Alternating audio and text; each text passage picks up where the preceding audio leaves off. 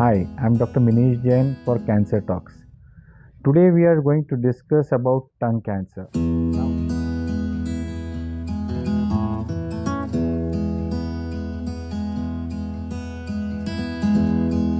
Now, oral cancer or what we call the malignancies of head and neck in that the most important is oral cancer which is a very common cancer worldwide we are almost having 40% of these cancers means if you look at 100 cancers in india 40% may be head and neck cancers.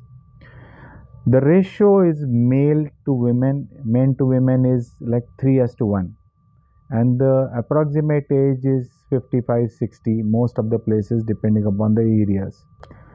Carcinoma tongue what we call the tongue cancer. Now tongue has two parts. The anterior part which we see protruding out and the part which is fixed which is in our throat in pharynx called the posterior part or base of tongue. These are uh, the two areas so two third and one third and if you look at the breakup of cancer lateral tongue comprises of maximum cancer. So 47% of cancers come from lateral tongue.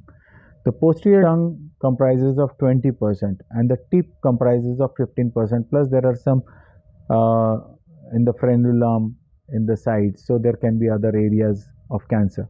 Now why it is important to know the tongue cancer?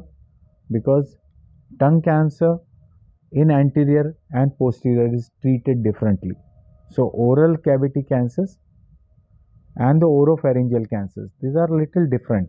So when we talk of tongue cancer we generally talk of the anterior part of tongue. What happens is when a person puts his gutka or tobacco and or khaini he is holding it there. They get these cancers in a very typical place where they are holding this which is called an indian oral cancer and most of the cancers are located in this place.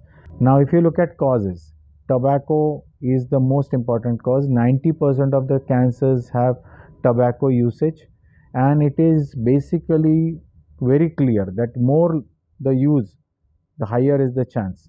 And if you stop tobacco it takes 20 years for you to normalize your risk.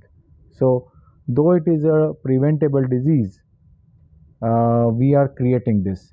Why? Because when we repeatedly expose our body to tobacco we are exposing it to a lot of carcinogens. A smoke can have 57 carcinogens. A oral tobacco has 4000 chemicals and with almost 50 carcinogens in that which is leading to this cancer promotion. It irritates the mucosa the mucosa undergoes morphologic change the mucosa then transforms and starts multiplying into bad cells and then continues to grow which becomes a cancer. So if there is an early change and you stop tobacco you may reverse cancer. So the exposure is ex- uh, removed the cancer process halts. The body may reverse your cancer. So now if you are smoking you can get a cancer because of that. If you are drinking alcohol on a regular basis and you are taking tobacco then you are increasing your ch- chances of cancer. 75 to 80 percent of patients who come to us with oral cancers have an exposure to alcohol. Now alcohol is directly acting as an irritant also causing nutritional deficiency so together it multiplies the risk of cancer in several folds the other risk factor for an oropharyngeal malignancy or the posterior part of tongue is HPV. Now HPV 16 is the subtype which irritates the DNA. So this is called a clastogenic DNA damaging virus which leads to irritation and cancer. So not that everybody who is exposed to HPV gets a cancer. And there are some other things like poor oral hygiene. So if you have bad dentures, if you have an oral sepsis, if you have syphilis, now we don't see this disease so commonly, but syphilis was one of them. Plummer Vinson syndrome, like you know, if you have an iron deficiency, there can be a wave formed in your throat and which can lead to an irritation. So this syndrome is called Plummer Vinson, which also can lead to cancer. If you have vitamin A deficiency, if you have certain uh, genetic disorders, young people if they get cancer then it is more likely to be a viral related cancer. And there are two types of viruses the EBV virus and the HPV virus. Now, how do we see these patients? We generally would see these patients when they have a ear pain or a difficulty in swallowing or a bleeding from the mouth or difficulty in uh, uh, there may be an ulcer in their mouth. They may have restriction in their tongue movement. They may have difficulty in pronouncing certain things. So they may what we call tongue tie. So they may not be able to speak like a normal person.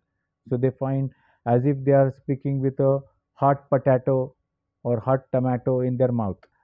You will also find that these patients because their tongue is having trouble they may be sitting with a handkerchief on their mouth. They may be salivating which may be just drooling out of their mouth. They may not be able to swallow it.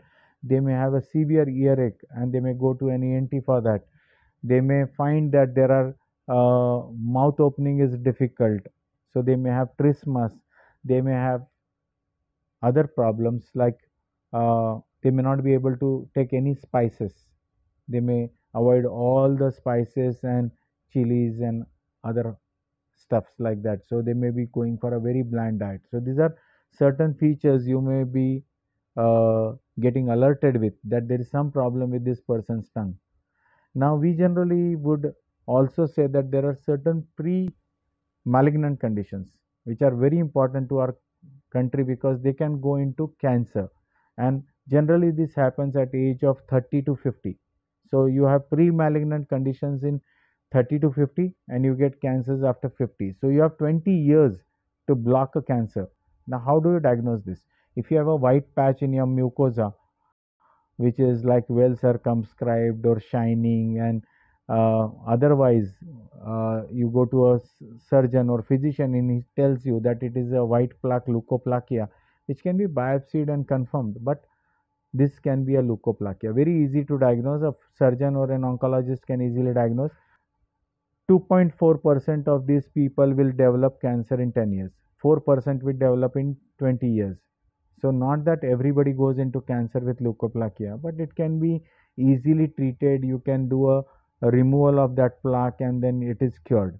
And you can avoid the irritation which is going to create that. So like tobacco you avoid and you may not get it again in life.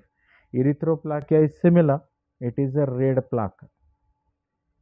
But it has 17 times uh, higher incidence compared to leukoplakia. So it's more common but more difficult to diagnose because it's a red patch needs a, a surgeon or an oncologist or a specialist to look into it and this can be very easily cured by removing it.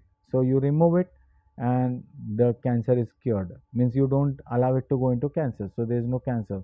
So you're treating a pre-malignant condition and avoiding cancer. So cancer can be prevented that is what i'm trying to tell you. What are the diagnosis methods? Like we have uh, an clinical examination we look into the mouth we look into the neck we look at the nodes. We take a biopsy from that uh, area which is an suspected area or we do an FNAC from the neck nodes to see whether they are involved. We do an OPG to look at the dentures. We look at do a CT scan. We may do an MRI especially for a tongue we may require an MRI because the soft tissue is better evaluated by an MRI which will tell me whether the tongue has been means the lesion has crossed the midline or not. Sometimes for the posterior part of tongue like uh, oropharyngeal malignancies we require a laryngoscopy or pan endoscopy or a nasal scopy. We also require a dental examination to make sure that the dentures are in right place and once we have done the diagnosis we go for staging. So we have stage 1 stage 2 stage 3 stage 4 so early stage like stage 1 stage 2 can be operated. And once you do surgery if they have node negative and if they don't have bad feature sometimes they may not require anything beyond surgery. But some patients who have high risk feature may require radiation or even Uh, sometimes if the margins are positive they may require a resurgery. If the patient has a T3 T4 cancer and surgery is done then they will definitely require radiation plus minus chemotherapy. And if they have a node positive disease which is like N2, N3 then they may require chemo radiation. And surgery sometimes may not be a good option in this kind of patients. So what we look at is whether the cancer is less than 4 centimeter, more than 4 centimeter in the anterior part of tongue, posterior part of tongue. Anterior part of tongue can be operated by most of the people. Posterior part of tongue or oropharyngeal malignancies require a robotic surgery and lot of centers may not have the robotic facility for this posterior part of tongue. And the most important part as I said after a tongue cancer treatment what we need to do for them is to make sure that they get their speech back and they are able to swallow their food. These are two important things. So we definitely at our center help them to do these two things and get them back to normal. Thank you.